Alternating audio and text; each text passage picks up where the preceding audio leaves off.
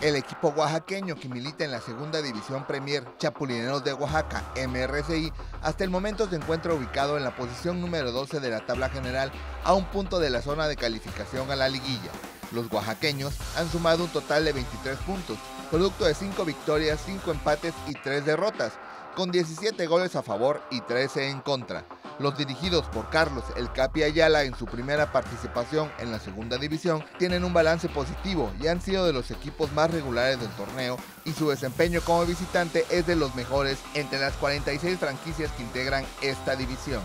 En lo que respecta a los números como local, el equipo saltarín ha obtenido una cosecha de 9 puntos, producto de dos victorias, tres empates y tan solo una derrota mientras que como visitante los chapulineros tienen 3 victorias, 2 empates y 2 derrotas para un total de 14 puntos, sumándoles 3 puntos extras obtenidos por victorias de 2 o más goles en cancha ajena.